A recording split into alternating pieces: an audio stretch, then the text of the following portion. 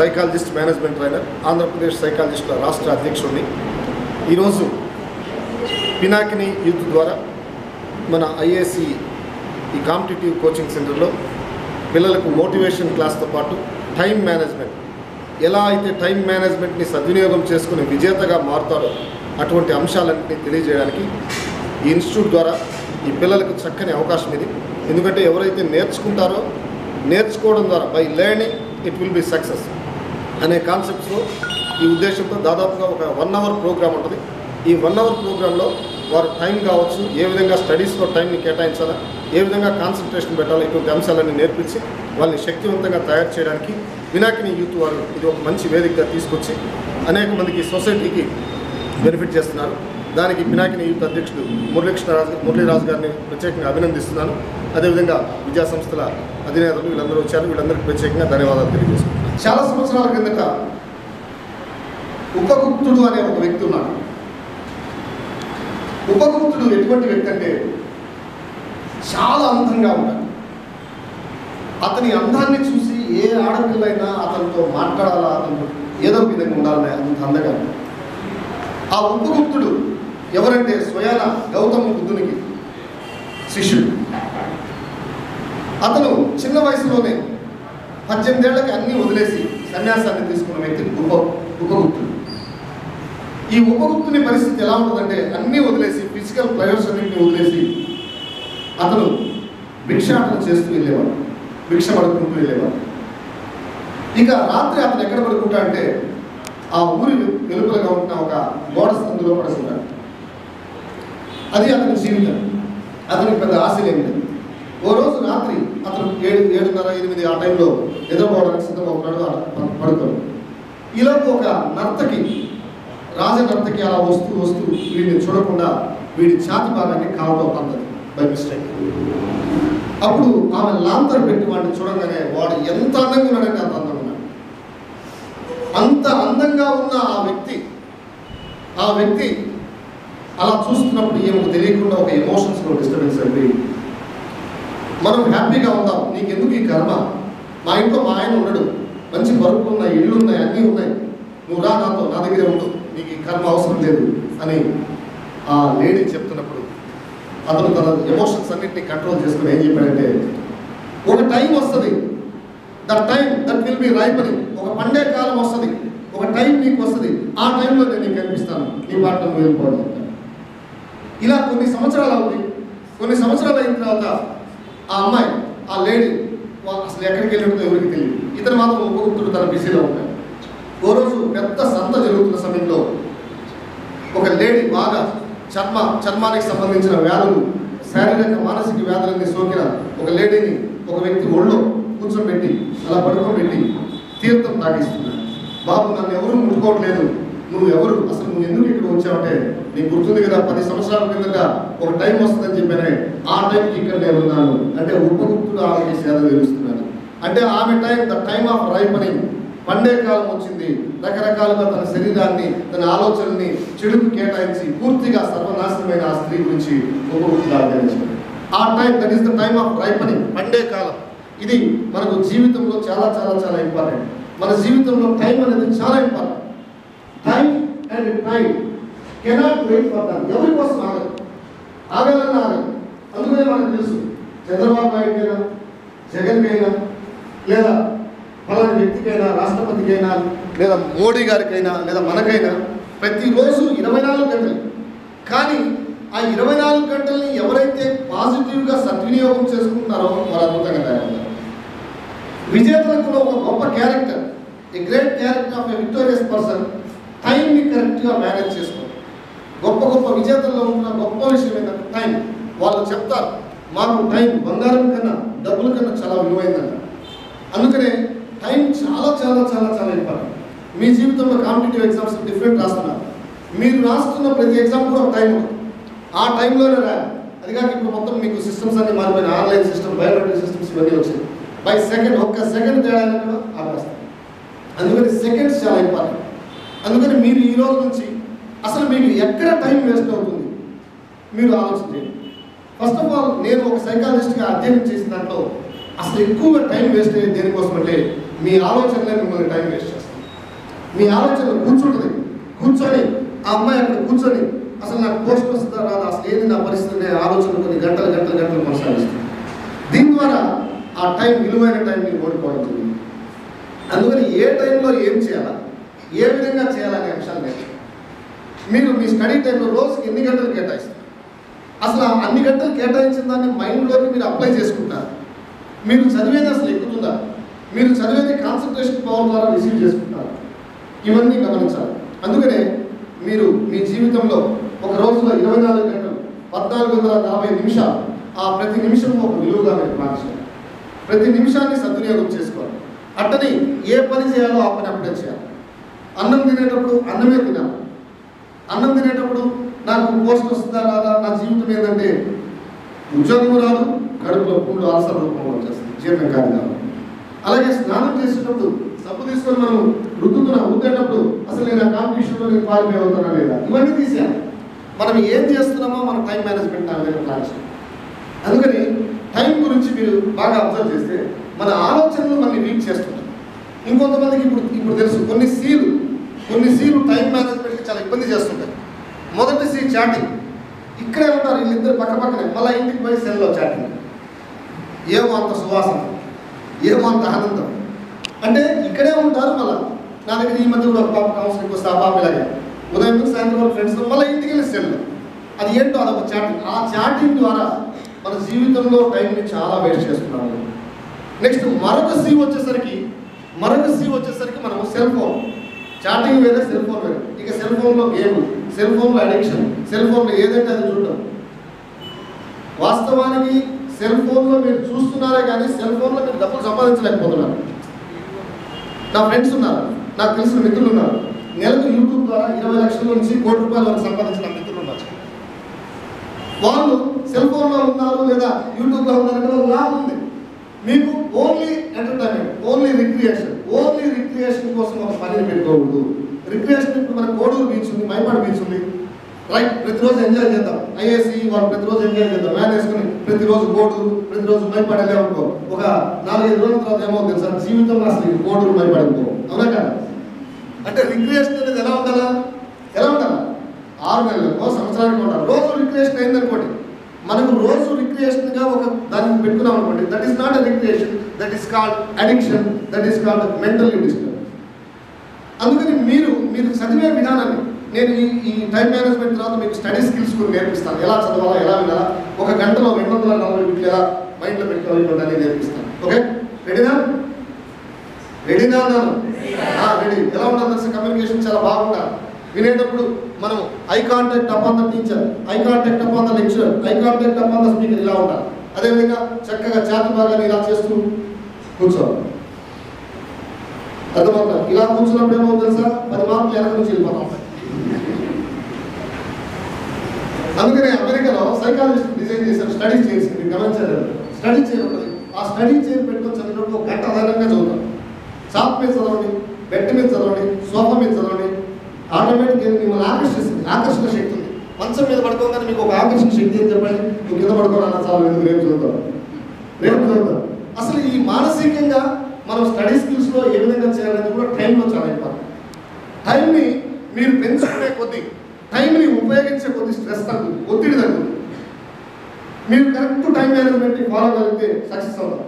కానీ భారతదేశంలో అది చాలా ఇబ్బందికరంగా ఉంటుంది. భారతదేశంలో ఎక్కడ ఈవెన్ రాజకీయ పరంగా కావచ్చు ఏ విషయంలో కూడా టైం మేనేజ్మెంట్ చాలా ఫెయిల్ చేసుకుంటాం కారణం ఎందుకంటే మన ఆలోచన బట్ ఒక విషయం మనకు జాతిపితగా ఉన్న లేదా ఒక ప్రపంచంలో ఒక గొప్ప శక్తిగా వ్యక్తిగా ఉన్న గాంధీజీని గమనిస్తే ఆయనంత టైం మేనేజ్మెంట్ చేసే పర్ఫెక్ట్ పర్సన్స్ ఉంటాయి నిజంగా ఎంత పర్ఫెక్ట్ అంటే ఆయన ఒక ఐదు నిమిషాలు తను చనిపోయే రోజు గుర్తుందో లేదో ఏ రోజు చనిపోయాడో కూడా గుర్తుంచుకోవాలి. ఎందుకంటే చాలా ఇంపార్టెంట్ ఏ రోజు చనిపోయాడు ఆయన?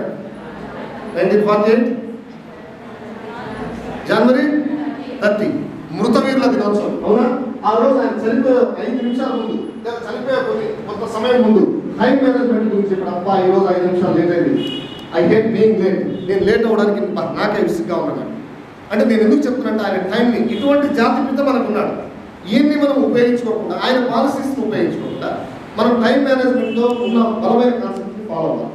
ఇట్స్ ఎ గ్రేట్ పర్సన్ అందుకని మీ టైంని మీరు రోజు ఎన్ని గంటలు? ఒక ఒక చట్టం తీసుకోండి. Twenty four hours. Six six six సిక్స్గా divide చేసుకోండి. ఒక సిక్స్ మీరు మీ స్టడీస్ కోసం కేటాయించాలి. మరొక సిక్స్ మీ పర్సనల్ కోసం కేటాయించాలి. మరొక సిక్స్ నిద్ర కోసం కేటాయించాలి. మరొక సిక్స్ మీ హార్డ్ వర్క్ అంటే వినడమే కాకుండా మీరు చేసే డెవలప్మెంట్ కోసం కేటాయించాలి. ఇలాగా ఇన్ని సిక్స్ అవర్స్ని మీరు ఉపయోగించగలిగితే మీరు సక్సెస్ అవ్వడానికి అవకాశం మీరు టైం మేనేజ్మెంట్ ఉపయోగించకపోతే స్ట్రెస్ తగ్గుతుంది మీలో స్ట్రెస్ తగ్గాలి స్ట్రెస్ పెరిగే కొద్ది ఇప్పుడు మీరు మీరు మీరు ఒక ఎగ్జాంపుల్ చెప్తాను చూడండి. ఇక్కడ నాకు ఫర్ ఎగ్జాంపుల్ పది గంటలకు నాకు ఇక్కడ క్లాస్ ఉందన్న. నేను మా క్లినిక్లో పది గంటల ఐదు నిమిషాలు పెట్టాను మధ్యలో ట్రాఫిక్ జామ్ అవ్వడం ఇబ్బంది అవ్వడం సమస్య అవ్వడం టెన్షన్ పెరిగిపోతుంది. అదే నేను తొమ్మిది యాభైకి వచ్చానుకోండి ఈజీగా రిలాక్స్గా ఉంటాను అందుకని టైం మేనేజ్మెంట్ చాలా ఇంపార్టెంట్ సేమ్ యాజ్ ప్లస్ ఇంకొంతమంది ఉంటారు. టైం ఎలా ఉంటుందంటే మరీ దారుణంగా ఉంటుంది తొమ్మిదికి రమ్మంటారు అంటే ఎనిమిదికి ఎనిమిదికి వచ్చి బాగా కాకుండా చాటింగ్ అనవసరమైన విషయాలు. అందుకనే మైండ్ థియరీ ఏం చెప్తుందంటే weak person discuss the weak person discuss the అంటే వీక్ యొక్క మైండ్ ఎలా ఉంటుందంటే మనిషి యొక్క వీక్ ఎవరైతే మైండ్ వీక్గా ఉంటుందో వాళ్ళ జీవితం ఎలా ఉంటుంది? స్ట్రాంగ్గా ఎలా ఉంటుంది? అదేవిధంగా యావరేజ్ మైండ్స్ ఎలా ఉంటుంది? A strong mind discuss the దేని గురించి డిస్కస్ చేస్తుంది? Strong mind discuss the ideas average minds discuss the events weak minds discuss the people ఎవరైతే వీక్ మైండ్స్గా ఉంటారో వాళ్ళ ప్రజల గురించి మాట్లాడుతూ ఉంటారు. మీరు నిజంగా వచ్చి కూర్చొని అది ఆ అమ్మాయి అడ చేసింది ఆ అమ్మాయి అడ్రస్ చేసుకుంది అది వంట ఎలా ఉంది దాని దంట ఎలా ఉంది దాని కర్మ ఎలా ఉంది దాని బాధ ఎలా ఉంది? ఇక్కడే కూర్చొని ఆ ఆ సమ్ ఎలా ఉంది ఆ సమ్ ఎలా చేయాలా ఇలా ఒక పది సమ్స్ ఎలా చేయాలా ఏ విధంగా పోస్ట్ కొట్టాలా అనే ఆలోచన స్టార్ట్ స్ట్రాంగ్ మైండా వీక్ మైండా స్ట్రాంగ్ మైండ్ అందుకనే strong mind discuss the ideas average mind discuss the events weak minds తీసుకొస్తారు ఇప్పుడు మనం మారాలి. ఒకవేళ వీక్ మైండ్లో ఉంటే వీక్ నుంచి యావరేజ్కి రావాలి. అందుకని మీ మైండ్ ఉద్దేశాలు మారాలి. అందుకని మీరు ప్లాన్ చేయండి. మీరు మీరు ప్రతి ఒక్కటి మిమ్మల్ని ఇన్స్పైర్ చేయాలి. మిమ్మల్ని మీతో ఇన్స్పైర్ చేసుకోవాలి. ఇరవై నాలుగు గంటలు మీతో మీరు మోటివ్ అవ్వాలి. ఇరవై నాలుగు గంటలు నిరాశ వస్తుంది బాధ వస్తుంది తెలియకుండా రకరకాల సమస్య వస్తుంది. ఒక్కొక్కసారి ఉదయం లేకంగానే నిరాశ బాధతో దుఃఖంతో ఉంటారు బట్ డోంట్ వరీ. ఆఖరికి వస్తువుల నుంచి కూడా మీరు సైకాలజీ నేర్చుకోవాలి. వస్తువుల నుంచి కూడా మీరు ఒక రూమ్లోకి ఎంటర్ తలుపు తీసి మీరు రూమ్లోకి ఎంటర్ అయ్యంటే ఫస్ట్ మీకు ఫ్యాన్ కనిపిస్తుంది. ఫ్యాన్ కనిపించినప్పుడు అలా ఫ్యాన్ మీరు చూసినప్పుడు ఫ్యాన్ చెప్తుంది ఇదిగో చల్లగా రిలాక్స్గా ఉండు. కోపం ఆవేశాల మధ్య రిలాక్స్గా రిలాక్స్గా ఉండడం నేర్చుకోవాలనే విషయం నేర్పిస్తుంది.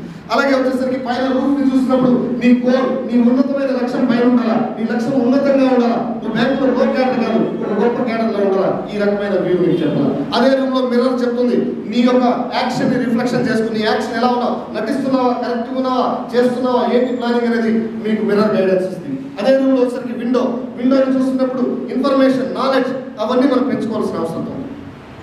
ఇక అదే రూమ్లో మనం కానీ గమనిస్తే క్యాలెండర్ చెప్తుంది up to date up to date అవ్వాలి లేటెస్ట్గా తయారవ్వాలి. ట్రెండ్ ఇప్పుడున్న కాంపిటీషన్ ఇప్పుడు ఇంటిగ్రేటెడ్ కోర్సెస్ వల్ల వస్తున్నారు వీళ్ళందరికీ మనం కాంపిటీలో ఎదుర్కోవాలి. ఇవన్నీ చేయాలి. అలాగే వచ్చేసరికి మనం కానీ గమనిస్తే క్లాక్ అదేవిధంగా క్యాలెండర్ అవి టైం మెన్షన్ చేస్తుంది. ఇక డోర్ చెప్తుంది తలుపు తీసుకుని వెళ్ళు తలుపు తీసుకుని వెళ్ళి నువ్వేంటో నిరూపించు. నువ్వు ఏ ఉద్యోగం సాధించడానికి ఈ ఐఎస్సిలో వచ్చావో ఆ ఉద్యోగం సాధించడానికి ప్లాన్ చాలా మంది ఏం చేస్తుంటారంటే తను సాధించలేక తను సక్సెస్ కాలేక వేరే వాళ్ళ మీద నిందేస్తుంటారు I'm the responsibility for my behaviour I'm the responsibility for my thinking I'm the responsibility for my attitude నాకు నేనే అంతే. మీకు విజయములోను ఓటమిలోను తొంభై శాతం మీదే. ఎస్ నో విజయం వచ్చిందంటే వంద శాతం నేను సార్ ఓటమి వచ్చిందంటే వంద శాతం కోచింగ్ వంద సార్ అనుకోండి ఈ విధంగా రకరకాల వ్యక్తులు ఉంటారు. అందుకని మీరు చాలా జాగ్రత్తగా ఉంటారు ఒకడు వెర్రి వెర్రి వెంకలప్ప ఒకడు ఉన్నాడు. అప్పుడప్పుడు వెర్రి వెంకలప్ప మధ్యలో పడుతుంటారు ఈ వెర్రి వెంకలప్ప ఎటువంటి అంటే ఓ రోజు పెళ్ళికి వెళ్ళాడు. వెళ్ళికి వెళ్ళినప్పుడు అందరూ కూర్చున్నారు టిఫిన్ తినేసి వస్తున్నాడు ఈ వెర్రి వెం- ఏం చేస్తున్నాడంటే ఎనిమిది నుంచి పది వరకు తింటాను తిరుగుతున్నాడు తింటున్నాడు తిరుగుతున్నాడు. ఏం లేదు ఇలా తింటున్నా తిరుగుతున్నా అంటే సార్ పెళ్ళి కార్డులో టిఫిన్ టైం లేకుండా పెళ్ళి టైం ఎనిమిది నుంచి పదిగా అందులో తింటూ తిరుగుతున్నాను సార్. అంటే ఏ ఏ దాన్ని ఏ విధంగా అండర్స్టాండ్ చేసుకోవాలి కూడా తెలియదు చాలా మందికి. అసలు ఏం చెప్తున్నారు? మనం ఎన్ని గంటలు కేటాయిస్తున్నాం? అందుకనే మనకు భగవంతుడు ఎడమ సైడ్ మెదడిచ్చాడు ఎడమ సైడ్ మెదడులో మీరు కాంపిటేటివ్ రాసే ప్రతి ఆస్పెక్ట్ అట్లా ఉంది. Listening speaking reading writing maths science analysis logic remembering analysis memory concentration మొత్తం మీ లెఫ్ట్ బ్రెయిన్లో ఉంది. ఈ యూనిట్స్ని మీరు యాక్టివ్ చేసుకున్నారా? మ్యాథ్స్ నాలెడ్జ్ కానీ సైన్స్ నాలెడ్జ్ కానీ left side by using right side hemisphere ధైర్యం ఆత్మవిశ్వాసం నమ్మకం గోల్ సెట్టింగ్ ఫీలింగ్ ఎమోషన్ ఇవన్నీ రైట్ సైడ్ అందుకని డియర్ స్టూడెంట్స్ మీ మెదడులో ఉంది the seed of achievement life in the human mind ఎక్కడ ఉంది మనిషి అభివృద్ధి ఎక్కడ చెప్పండి. అదేదో సినిమాలో మనం గమనించాం. మాయల్ వాడి ప్రాణం ఎక్కడుందట? చిలక దేంట్లో ఉంది? చిలక తలలో. ఆ తల తీసేసి ఇటు వస్తాడు ఇక్కడ మనం ఏం లేదు. మీ మైండ్ మీరే ఉపయోగించుకోండి. మీ మైండ్ని బాగా ఉపయోగించుకున్నప్పుడు మీరు సక్సెస్ అవ్వడానికి అవకాశం అందుకనే టైం మేనేజ్మెంట్లో ఎన్ని గంటలు కేటాయించాలి? ఏ విధంగా చేయాలి? ఏ విధంగా ప్లాన్ చేయాలి? అని. అదేవిధంగా కాలం చాలా విషయాల్ని మార్పు చేస్తుంది. కాలం టైం చాలా విషయాలను చేంజ్ చేస్తుంది. It can be change wait చేయండి. గెలవడానికి అవకాశం ఉంది. వెయిట్ చేయండి. మీరు అద్భుతం చేయడానికి అవకాశం ఉంది. ఈరోజు ఓడిపోయాలని మీరు ఈ రోజు మేము చేయడానికి ఓడిపోదు రేపు మీరు గెలవడానికి అవకాశం there is no failure only feedback అపజయం అనేది లేదే లేదు. ఓటమి అనేది లేదే లేదు. ఇది ఓటమి కాదు అనుభవం. దెర్ ఇస్ ఎక్స్పీరియన్స్ ఫెయిల్ అనే కాన్సెప్టే ఉండదు. అందుకని అసలు లాస్ట్ టైం అందుకనే మీరు స్టూడెంట్స్గా మీ అందరికీ లేదా కాంపిటేటివ్ వాళ్ళకి నేను స్వాట్ అనాలిసిస్ అనేది రాసుకోవాలా? ఇప్పుడు మీరంతా ప్రిపేర్ అయ్యే దాంట్లో swat analysis S W O T S for strengths నీలో ఉన్న స్ట్రెంగ్స్ ఏంటి? నీలో ఉన్న వీక్నెస్లు ఏంటి? ఒక ఆడ ఆడపిల్లకో లేకపోతే ఒక బాబుకో లేకపోతే ఒక భార్యకో ఒక వైట్ పేపర్ ఇచ్చి మీ ఆయనలో ఉండే మైనస్ రాయమంటే ఆమె గ్రంథాలు రాశారు కారణం వ్యూ నెగిటివ్ వ్యూ వాళ్ళకి మామ అల్లుడు లేదా వీళ్ళు బాగుంటారు అత్త కోడలు సెట్ కాదు. ఒక ఈ మధ్య అధ్యయనాల్లో కూడా గమనించారు నైంటీ పర్సెంట్ అత్తకు కోడలకి ఎందుకు సెట్ కాదనే దాని మీద త్వరలో యూట్యూబ్లో నేను ఒకటి పెడుతున్నాను.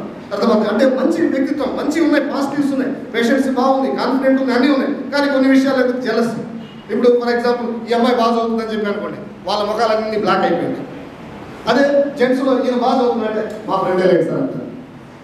ఇవి తీసేయాలి రిమూవ్ అంటే ఇవే మన ఏంటంటే స్లో చేస్తుంటాయి. మన కడుపులో బాధలు ఇబ్బందులు ఇవన్నీ. ఓ రోజు కౌన్సిలింగ్ సెంటర్కి ఒక వచ్చింది. సార్ నాకు బాగా కడుపు మంట సార్. కడుపు అంతా మంట పడుతుంది సార్. అమ్మ అమ్మా నేను కడుపుకి సంబంధించిన డాక్టర్ని కాదు మైండ్కి సంబంధించిన డాక్టర్ లేదు సార్ ఇది మీరు చేయగలరు ఏంటమ్మా నాకు సార్ అందరూ మా ఏరియాలో డెవలప్ అవుతున్నారు. పక్క వాళ్ళు డెవలప్ అవుతున్నారు. ఎదురు డెవలప్ అవుతున్నారు. అందరూ డెవలప్ అవుతున్నారు. మేము మాత్రం అదే గుడిసెలో ఉన్నాం సార్. అంటే ఈ ఉద్దేశం ఏంటంటే వాళ్ళు డెవలప్ అవుతుంటే గుళ్ళు అసూయ కడుపులో రకరకాల ఆలోచన గుళ్ళు లీవ్ దట్ రిమూవ్ దట్ వాటిని తీసేయండి. బ్రాడ్గా థింక్ చేయండి. బ్రాడ్గా think there is no competition వాస్తవం ఒక రకం కాంపిటీషన్ కూడా ఉంది కానీ దాన్ని ఎదుర్కొనే విధంగా నిన్ను నువ్వు బెటర్ చేసుకోవాలి. Work more than others learn more than others think positive work more than others నువ్వు ఒక గంట చదివితే నువ్వు రెండు గంటలు చదవాలి. నువ్వు రెండు వందల మీటర్లు నేర్చుకుని రెండు వందల యాభై నేర్చుకో అట్ట నువ్వు రెండు సినిమాల పోతే నువ్వు నాలుగు మరి మనం నెగిటివ్ తీసుకుంటా పాజిటివ్ని రిసీవ్ చేసుకోవడం చాలా తక్కువ. మీరు బాగా ఆలోచన చేయండి. ఎస్పెషల్లీ రివర్స్ సైకాలజీ యూత్లో చాలా బాగుంటుంది. ఏది చేయొద్దు అంటాడు అదే చేస్తాడు. నేను నేను నీకు చెప్తున్నాను సీరియస్గా ఆ అమ్మాయిని లవ్ చేద్దాం కూడా అమ్మాయిని లవ్ అందుకని కొన్ని చూసి చూడట్టు వెళ్ళాలి అందుకని డియర్ ఫ్రెండ్స్ డియర్ స్టూడెంట్స్ మీకున్న టైం మేనేజ్మెంట్ మీరు ఉపయోగించుకోవాలి. అందుకనే టైం అనేది ఎన్ని గంటలు మీరు కేటాయించి ప్లానింగ్గా చేసుకోగలిగితే ఉద్యోగాన్ని మీరు సాధించడానికి అవకాశం ఒకసారి ఆలోచన చేయండి మీరు బ్యాంకులకు వెళ్ళండి బ్యాంకుల్లో ఒక్కొక్కసారి కూర్చున్న వాళ్ళని చూడండి. అసలు ఇతనికి ఎంత జాబ్ వచ్చిందని ఆశ్చర్యం. అవునా కాదా? డబ్బులు లెక్కేస్తున్నాడు ఒకడు. అసలు ఈ ఎవరు డబ్బులు జాబ్ ఇచ్చాడు?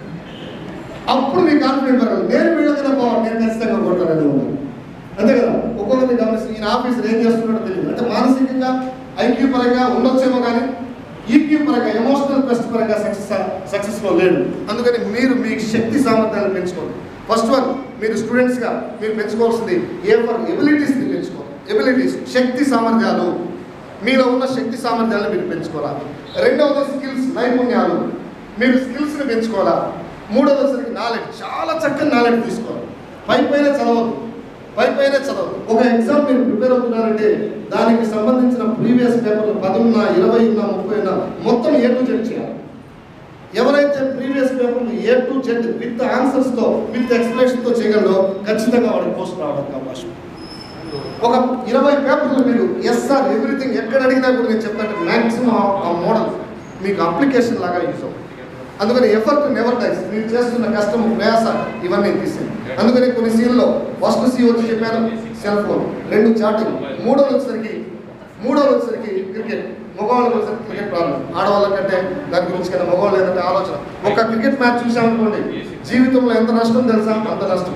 అందుకని క్రికెట్ ఎలా చేయాలి సార్ అంటే సార్ అది ఎంజాయ్ చేస్తారంటే ఏం ఎంజాయ్ ఒకటి ఆ మధ్య వచ్చి దేశభక్తి చేస్తారంటే ఏం దేశభక్తిరా? క్రికెట్ చూడడం దేశభక్తి క్రికెట్ చూడడం దేశభక్తి మీ అమ్మ నాన్న సరిగ్గా చూడడం దేశభక్తి అది. అందువల్ల క్రికెట్ చూడొద్దట్లేదు అందువల్ల దాదాపు యాభై ఓవర్లు అంటే సుమారుగా నీకు పద్నాలుగు గంటల టైం వేస్ట్ అవుతుంది. ఈ పద్నాలుగు గంటలు తిరిగి రావు.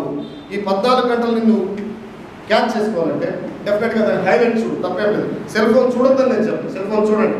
సెల్ ఫోన్ చూడండి వాట్సాప్ చూడండి బట్ దానికి లిమిటేషన్ వేయాలి సెల్ఫ్ కంట్రోల్ పవర్ అంట ఎవరైతే సెల్ఫ్ కంట్రోల్ పవర్ని ఈ యూత్లో పెంచుకుంటారో వాళ్ళు అద్భుతంగా సాధిస్తారు. సెల్ ఫోన్ అంతే మ్యాక్సిమం ఫైవ్ మినిట్స్ లేదా టెన్ మినిట్స్ లేదా half an hour and it is complete నాకు వద్దు సార్.